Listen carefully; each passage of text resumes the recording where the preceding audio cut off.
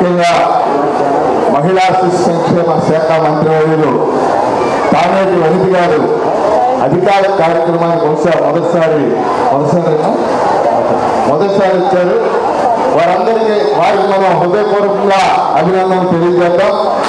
అలాగే హోంశాఖ మార్చులు సుచరిత గారు అలాగే వాసిరెడ్డి పద్మ గారు రాష్ట్ర మహిళా కమిషన్ చైర్మన్ కలెక్టర్ గారు కృష్ణరావు గారు ఉండవల్లి శ్రీదేవి గారు తాడికొండ శాసనసభ్యులు అంబటి రాంబాబు గారు రామకృష్ణ గారు కృతికా శుక్లా గారు మహిళా శిశు సంక్షేమ కమిషనర్ ముస్తాబా గారు అండ్ స్టూడెంట్ ఇక్కడ ఉన్న వాళ్ళందరికీ ప్రశ్న. మలారా యోసఫ్ జాయ్ పేరున్న వాళ్ళ చేతులు ఎత్తండి మలారా పేరున్న వాళ్ళ చేతులు ఎత్తండి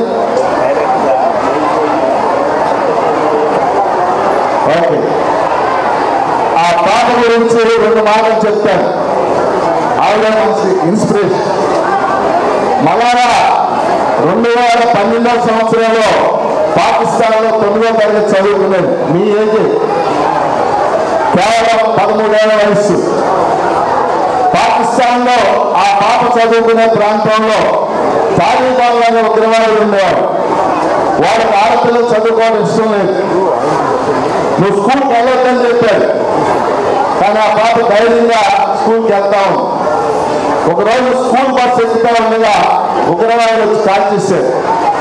గుళ్ళు తుపాకి గుళ్ళు తల్ల వెళ్ళిపోయింది చచ్చిపోయిందని అక్కడ పడేసి వెళ్ళాడు కానీ అదృష్ట అదృష్టశావత్తు ఆ పాప బతికింది. తర్వాత లండన్ వెళ్ళింది. పదో క్లాస్ చదివింది. పదకొండు పన్నెండు ఇప్పుడు డిగ్రీ చదువుతుంది. చదువుకోవాలి ప్రపంచవ్యాప్తంగా. అది ఆ పాప స్లోగన్ ఇప్పుడు ఏ ఆడపిల్ల చదువు మానేయకూడదు అని చెప్పి. ఇప్పుడు అతి చిన్న వయసులో నోబెల్ బహుమతి నోబెల్ శాంతి బహుమతి కేవలం పదహారేళ్ళ వయసులో ఆ పాపకు వచ్చింది. ఆరున్నర కోట్లు వస్తే అది కూడా ఆడపిల్లల చదువు కోసం ఖర్చు పెట్టేసి ఎందుకు ఈ పాట గురించి చెప్పానంటే ఈరోజు ఆడపిల్లలు పెద్ద సంఖ్యలో చదువుకుంటున్నారు. గుంటూరు జిల్లాలో ఏ హై స్కూల్కి వెళ్ళినా ఏడు వందల మంది పిల్లలు ఉంటే హై స్కూల్లో నాలుగైదు వందల మంది ఆడపిల్లలు ఉంటున్నారు.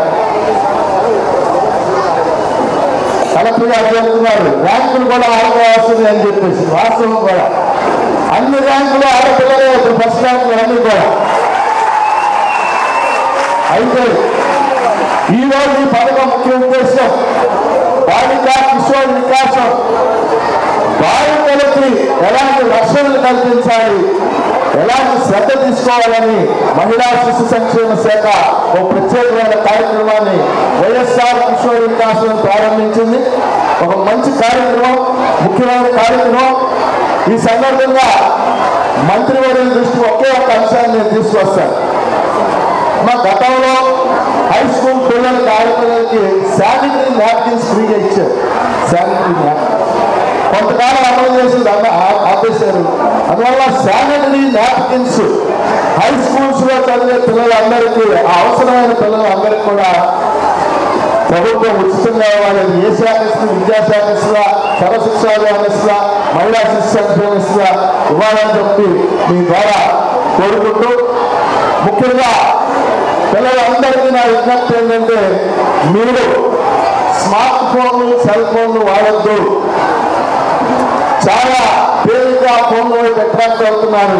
అవి మానేస్తే సగం సమస్యలు తగ్గిపోతాయి. అధికారులు కూడా సమస్యలు తగ్గుతాయి అని చెప్పేసి తెలియజేస్తూ ఆ వైపు కూడా అధికారులు కృషి చేయాలని కోరుకుంటూ ఈ మంచి కార్యక్రమాన్ని ప్రారంభిస్తున్నందుకు ముఖ్యంగా మహిళా శిశు సంక్షేమ శాఖకి హృదయపూర్వక అభినందనలు తెలియజేస్తూ సెలవు Please watch Tulsi News. Please subscribe to Tulsi News.